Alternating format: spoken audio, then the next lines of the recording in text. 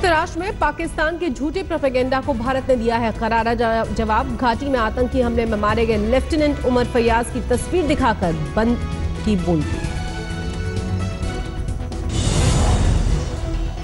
2007 batch के अधिकारी पॉलमी त्रिपाठी ने कहा, पाकिस्तान समर्थित आतंकवादियों ने उमर फैयाज की बेरहमी से हत्या की। न्यूयॉर्क में तैनात भारतीय मिशन की सबसे जूनियर डिप्लोमेट पॉलमी त्रिपाठी ने राइट टू रिप्लाई के तहत पाकिस्तान को दिया जवाब। पाकिस्तान का चेहरा किसी से छुपा नहीं। यूएन में भारत की महिला राजदूत ने कहा, आतंकवाद से ध्यान भटकाने के लिए पाकिस्तान ने दिखाई फर्जी तस्वीर।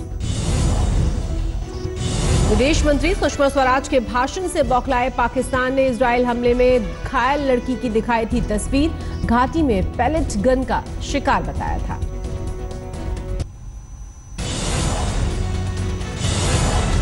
सेना प्रमुख बिपिन रावत ने पाकिस्तान को दी चेतावनी, नहीं समझने पर फिर करेंगे surgical strike. Army chief Bipin Rawat ने आतंकवादियों तक पहुँचाया संदेश। भारत में घुसोगे तो ढाई फुट ज़मीन के नीचे भेज देंगे।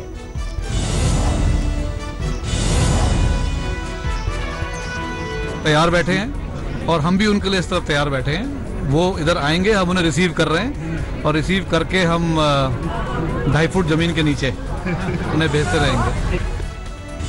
सर्जिकल स्ट्राइक का एक साल पूरा होने पर पाकिस्तान ने फिर की हमले की कोशिश। उरी में सुरक्षा बलों ने ढेर किए चारों जैश के आतंकी। मारे गए आतंकी उत्तरी कश्मीर से भारत में घुसने वाले पंद्रह आतंकवादियों के ग्रुप का हिस्सा सूचना मिलने के बाद सुरक्षा बल कर रहे थे तलाश। पाकिस्तान के कब्जे वाले कश्मीर से सात आतंकी भारत में घुसपैठ को तैयार खुफिया सूत्रों का दावा, सीमा पार। 112 आतंकी कर रहे हैं कैंपिंग। खुफिया सूत्रों ने किया पीओके में आतंकी लॉन्च पैड्स का खुलासा, पुंछ, मच्छल और उरी सेक्टर में सबसे ज़्यादा लॉन्च पैड्स नौगांव, नौशेरा और केरन सेक्टर में नए लॉन्च पैड्स का खुलासा, सीमा पार। गुरेज और तंगधार में भी बने आतंकवादियों के नए ठिकाने। हिमाचल प्रदेश में मुख्यमंत्री वीरभद्र सिंह ही होंगे। कांग्रेस का चुनावी चेहरा लेकिन नहीं हटाए जाएँगे। प्रदेशाध्यक्ष सुक्खू। दिल्ली में अवैध पार्किंग के खिलाफ ट्रैफ़िक पुलिस और एमसीडी का 28 जगहों पर बड़ा अभियान 760 चालान काटे गए 280 वाहन किए गए जब्त। देश में हर घर को बिजली पहुँचाने के लिए पीएम नरेंद्र मोदी ने शुरू किया सौभाग्य योजना। करीब सोलह हज़ार करोड़ रुपए होंगे खर्च।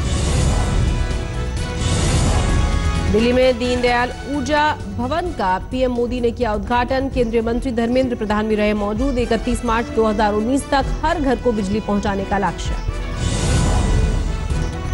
सौभाग्य योजना के तहत गाँव में बिजली पर ज़ोर, चौदह हज़ार करोड़ की लागत से जगमग होंगे देश के गाँव। आज भी जारी रहेगा गुजरात में राहुल गांधी का दौरा। जामनगर मोरबी राजकोट जिलों में लोगों से होगी मुलाकात। जामनगर में सुबह 10 बजे कांग्रेस उपाध्यक्ष करेंगे कार्यकर्ताओं के साथ मुलाकात। दोपहर को किसानों के साथ बातचीत, शाम को होगी राजकोट के व्यापारियों के साथ बैठक। बनारस से दिल्ली पहुँचा बीएचयू आंदोलन। आज जंतर मंतर पर शाम पाँच बजे जुटेंगे बीएचयू के आंदोलनकारी छात्र। बीएचयू कैंपस में छात्रा से छेड़खानी के बाद बवाल से जागा प्रशासन। बीएचयू के सुरक्षा कर्मियों की पुलिस जैसी वर्दी पहनने पर रोक। बीएचयू की घटना पर पीएम नरेंद्र मोदी ने योगी आदित्यनाथ से की बात। ज़रूरी कदम उठाने को कहा। अमित शाह ने भी योगी से बात की। बीएचयू में ला, लाठीचार्ज के मुद्दे पर कई अफसरों पर गिरी गाज। Additional city magistrate first Manoj Kumar Singh समेत तीन अफसरों का तबादला। मनोज कुमार ज्ञानवापी इलाके के मजिस्ट्रेट बनाए गए। बीएचयू में हिंसक घटनाओं और शांति भंग के लिए बारह सौ अज्ञात छात्रों पर दर्ज हुआ केस। रविवार को कई वाहनों में उपद्रवियों ने लगाई थी आग।